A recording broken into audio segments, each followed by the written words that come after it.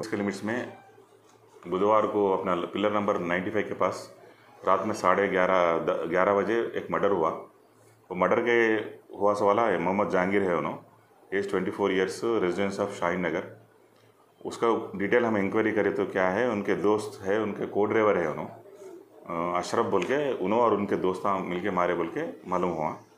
उनको कल रात में हम अरेस्ट करे उनको, पूरों को। कई को करे बोले तो अशरफ और जहांगीर दोनों ड्राइवर्स है।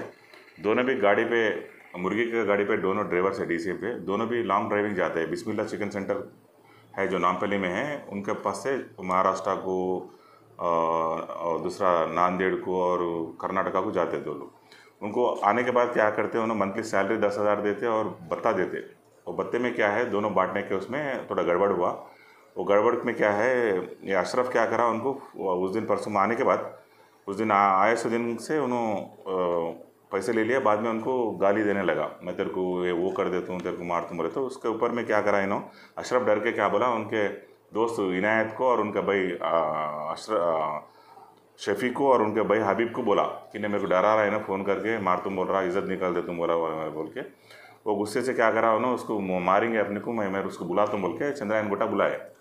चंद्रायन गुटा ये डिसीज नहीं गया चंद्रायन गुट्टा मैंने नहीं जाके नहीं गया तो क्या हुआ, कहाँ है? बोले तो फिर फ़ोन करे तो मैं नाइन्टी फाइव पिलर के पास आ रहा हूँ, तुम लोग आओ इधर, बोले तो उसके पूरे मिलके इधर आए चार लोग। आने के बाद बैसम बैसे हुआ आर्गूमेंट हुआ। आर्गूमेंट होते इनायत क्या करा, चाकू दे उनको मार दिया। उसके बाद हम तहकीकत करें। डिस्प्यूट क्या हुआ बोले तो उन्होंने बत्ता जो बांटते उनका इसको कम हिस्सा दे रहा फोर्टी परसेंट दे रहा उन्हें सिक्सटी परसेंट दे रहा। इसके वजह से उनको दोनों को डिस्प्यूट हुआ। उसके वजह से उन्हें धमकी देने से वजह से उसके भाई को बोल के उन्होंने उस दिन रात में आके मार दिए उसको। ना शाहीन नगर के है। दोनों भी शाहीन नगर में रहते थे। अब अशरफ क्या है पंद्रह दिन से इधर शेखपेट में रह रहा। ये क्या है इसका इनायत अली अलिया सरबाज बोल के है।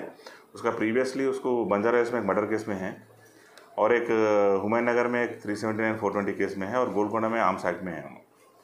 और एक शफी बोले से वाला प्रॉपर्टी अफेंडर है मोटरसाइकिल चेयर में दो बार लंगरोज में रिमांड गया। पूरे गोलकोंडा में रहता दोनों। पूरे डिसीज पूरे गोलकोंडे उनके मदर वहाँ रहते एक आ, आ, आ, ये